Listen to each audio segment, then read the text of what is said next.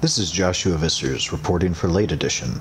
Wednesday afternoon, I caught up with the Portage Lake District Library Program Coordinator, Michael Stanitis, in Houghton's Bridgeview Park to talk about some summer programs. So the programming this summer, we're really focusing on staying outdoors uh, because, like today, if you have a day like this, you know you're not going to want to be indoors. You know, I've learned that over the last couple of years.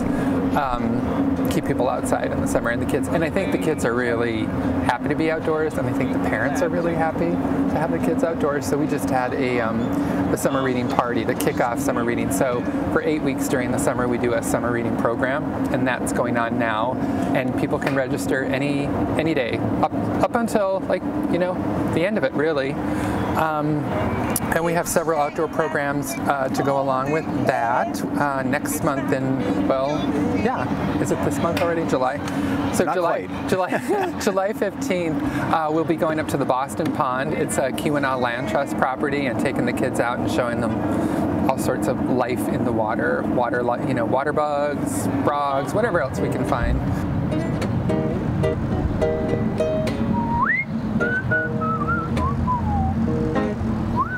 Might also recognize Michael from the Biblio Bistro series, which we'll be relaunching to feature products from local farmers markets.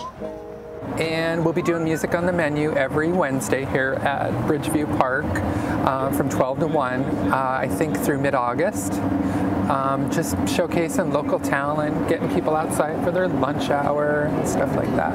And today you've got Bob Hilton. Bob Hiltunen is here yeah. today. Yep, he's a local favorite and one of my local favorites, so that was an easy pick. it's not me, you see, how could this be a thing of beauty? You can sign up for the summer reading program at pldl.org. Reporting for Late Edition, this is Joshua Vissers. I've got the second verse, so we'll just play instrumental.